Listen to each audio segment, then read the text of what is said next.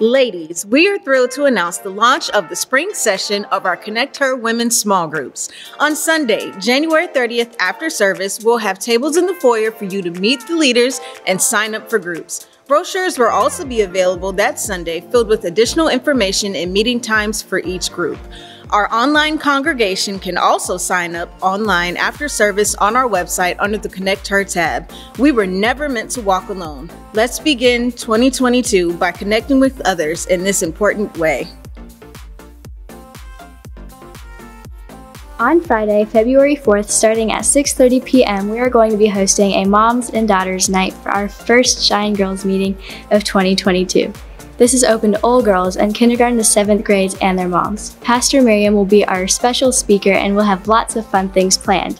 Moms, remember you must sign up online or at the Connect desk to participate. Sign-ups are open now.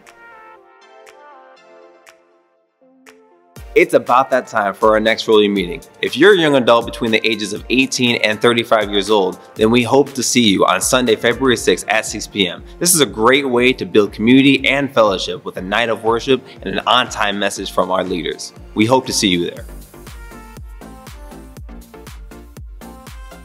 Encourage Moms. We have an event just for you coming up on Friday, February 11th at 6 p.m.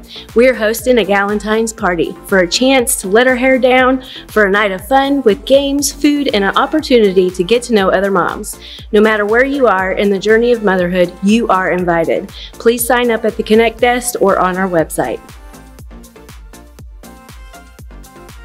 God said, when your sheep has a lamb, give me the first one. It takes faith to give the first one before you have any more. You don't know if the sheep's going to produce anymore. That takes faith.